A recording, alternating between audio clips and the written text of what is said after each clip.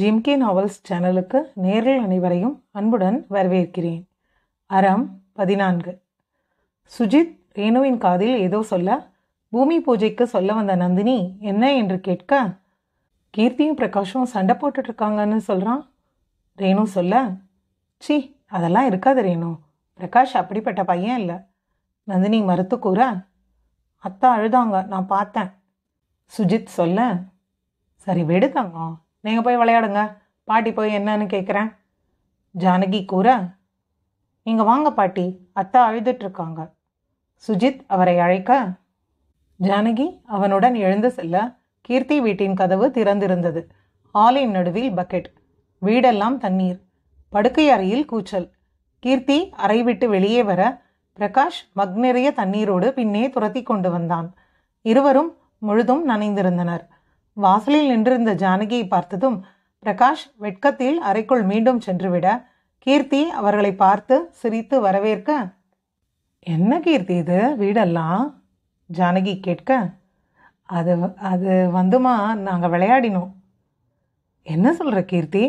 இவன் நீ அழுத சண்டைன்னெல்லாம் சொன்னான் கீர்த்தி மீண்டும் சிரித்து அச்சோ அம்மா அது அவரை ஏமாற்றி மேலே தண்ணி ஊற்றி விட கால் சுழிக்கிடுச்சுன்னு சொல்லி விளையாட்டுக்கு அழுதேன். அதை பார்த்து வந்து சொல்லியிருப்பான். என்னமோ போங்க ரெண்டு பேரும் கதவை சாத்திக்கிட்டு விளையாடுங்க. எங்களுக்கு பயமாக இருக்குதுல்ல? ஜானகி சொல்ல சரிம்மா சாரி கீர்த்தி மன்னிப்பை வேண்ட. சாரி எதுக்குமா? சந்தோஷமாக இருங்க. இதுதானே விளையாட வயசு. ஜானகி கூறவும் கீர்த்தி வெட்கத்தில் தலைகுனிய. சுஜித்தை அழைத்து கொண்டு சென்று விட்டார் ஜானகி. கீர்த்தி திரும்ப பிரகாஷ் அவள் தலையில் தண்ணீர் ஊற்ற கீர்த்தி தடுமாற பிரகாஷ் பிடித்து கொண்டான். அவ்வளோதான் என் கணக்கு சரியாக போயிடுச்சு. பிரகாஷ் கூற நான் தான் கடைசியாக ஊற்றுவேன் உன் மேலே. கீர்த்தி பிடிவாதம் பிடிக்க நான் குளிக்க போகிறேன் வா ஊற்றி விடு. பிரகாஷ் சொல்ல என்ன? குளிக்க போறியா? யார் தொடப்பா இத? வீடு மொத்தமும் உள்ள நீரை பார்த்து கீர்த்தி கோபமாக கேட்க ஒரு முத்தம் கேட்டதுக்கு என் மேலே தண்ணியை ஊற்றிட்டு போனது நீ. கணக்கு சரி செய்ய நான் ஒரு மக் தண்ணி உன் மேலே ஊற்றுனேன் அப்போவே கணக்கு நேர். நீ தான் திருப்பி அதிகம் ஊற்றிட்டேன்னு சொல்லி ஊற்றி விட்ட வீடு முழுக்க ஓடி எல்லா பக்கமும் தண்ணி பண்ணது நீ. ஸோ நீ தான் சுத்தம் செய்யணும். பிரகாஷ் உள்ளதை சொல்ல நான் ஒரு டம்ளர் ஊற்றி விட்டேன் நீ தான் மக்கு மகா என் மேலே ஊற்றிருக்க உன்னால தான் எல்லாம். கீர்த்தி வம்பு செய்தாள். நான் கேட்ட உமாவை கூட. வீட்டை என்ன? உன்னையும் சேர்த்து. பிரகாஷ் கண்ணடிக்க ஐ அப்புறம்? நீங்கள் வீட்டை சுத்தம் பண்ணுங்க போதும்.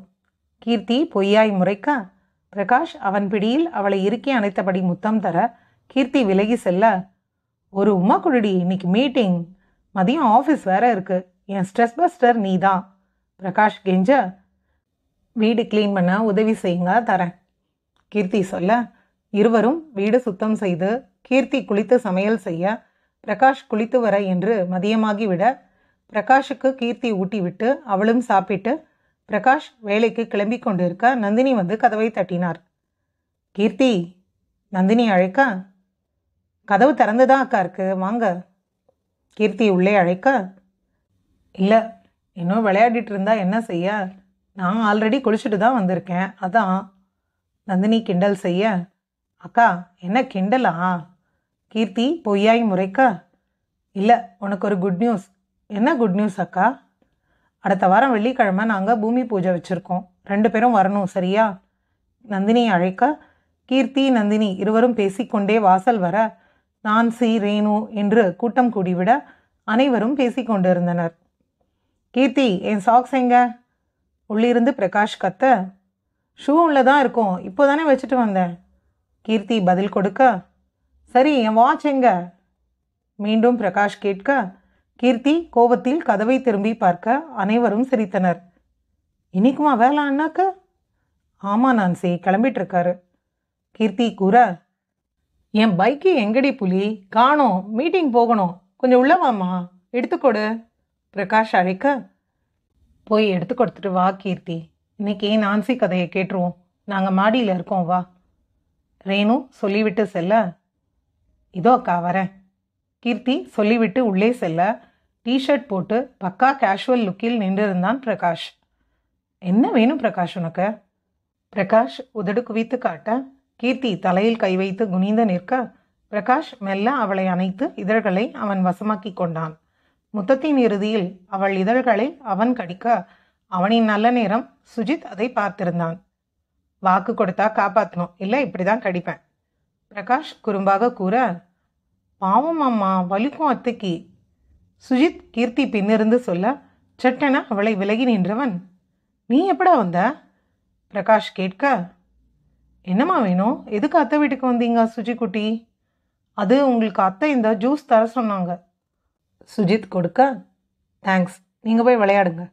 கீர்த்தி சொல்ல சுஜித் சரியென தலையாட்டி விட்டு சென்றிருந்தான். ஏன் கீர்த்தி இப்படி இருக்க? கதவை சாத்திட்டு வரக்கூடாது? பிரகாஷ் கேட்க சாரிம்மா கீர்த்தி சங்கடமாக பதில் கூற என்ன சாரி? இது நம்ம அந்தரங்கம். காலையில் சுஜித் பார்த்து ஜானகி அம்மா வந்து பேசிட்டு போய் அப்புறம் நந்தினி அக்கா.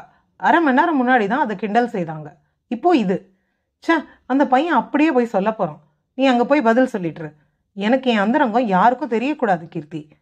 ஊர் முழுக்க இதை யார் சொல்லுவாங்க? இப்படி இன்னொரு முறை நடந்தால் நான் சும்மா இருக்க மாட்டேன். பிரகாஷ் சட்டென கோவமாகி இருக்க சாரிப்பா இனி இப்படி நடக்காது. Sorry please.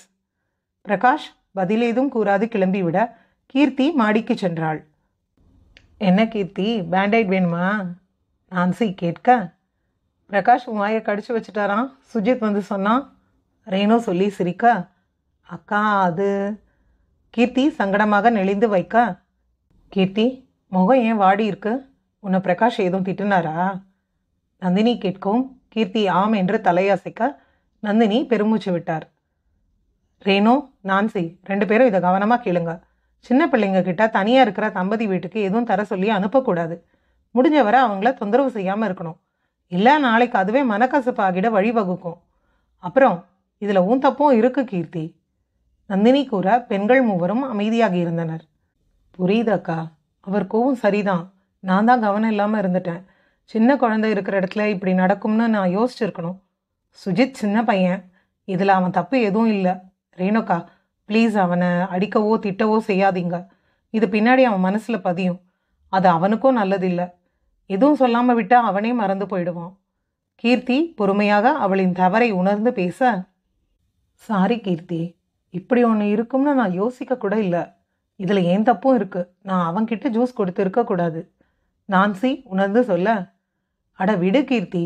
பிரகாஷ் கோவமாக திட்டிட்டு போய் நிம்மதியாக மீட்டிங் அட்டன் பண்ண முடியுமா? சீக்கிரம் வந்துடுவர் நீயும் திருப்பி கடிச்சு வச்சு பழி தீர்த்துக்கோ. நந்தினி சிரிக்காது கூற. கீர்த்தி சிரித்து விட. காலையில் வீடெல்லாம் தண்ணி கொட்டி விளையாட்டா? இது என்ன புது விளையாட்டு? கற்றுக்கொடு நாங்களும் விளையாடுவோம். ரேணு கேட்க. அது நாங்கள் சில நேரம் அப்படி தான் அக்கா. தண்ணி ஊற்றிப்போம் மாவு கலர் பொடி மஞ்சள் காவி அப்புறம் அலமாரியில் உள்ள அவர் ட்ரெஸ்ஸை நானும் என் ட்ரெஸ்ஸை அவரும் மேலே தூக்கி போட்டு பில்லோ ஃபைட்டெல்லாம் பண்ணுவோம். இல்லை ஒரு கோடு போட்டு துணி வச்சு இழுப்போம். யார் முதல்ல தாண்டி வராங்களோ அவங்க தான் அன்றைக்கி எல்லா வேலையும் செய்யணும். அவர் வின் பண்ணால் எனக்கு உதவி செய்வார். நான் வின் பண்ணால் எனக்கு முழு ரெஸ்ட் வேலை செய்ய விட மாட்டார். செம சூப்பர் எவ்வளோ மிஸ் பண்ணியிருக்கேன்னா அவர் வந்தால் இன்றைக்கி குடும்பமாக விளையாட போகிறோம் நாங்கள் நந்தினி உற்சாகமாக சொல்ல. சரி சரி வாங்க. நான்சி நழுவி ஓடுறதுக்கு முன்னாடி அவள் காதல் கதையை கேட்போம். ரேணுகா கூற நான்சி முன்னே வந்து அமர்ந்தாள். அறம் தொடரும். அன்பு அனைத்தும் செய்யும். நன்றி.